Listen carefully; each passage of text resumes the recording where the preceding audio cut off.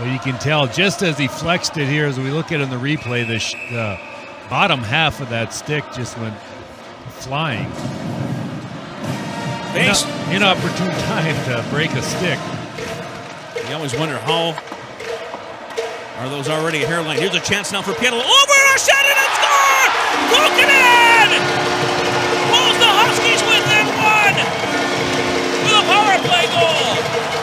There we go. Finally, Tech creates a turnover, and Logan immediately creates the turnover, throws it back door to Kukkonen, who patiently waited for that lane to open up and made no mistake and got a lot on that one timer. I have a feeling you're going to hear a lot of that from him in the future, but it's just a great play by Logan at first and then an excellent shot by Kyle Kukkonen.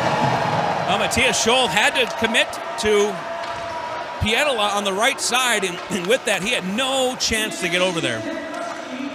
So the Huskies pull within one on a big power play goal by Kukin, and That is his first official goal as a Husky. Had that breakaway goal in um, exhibition play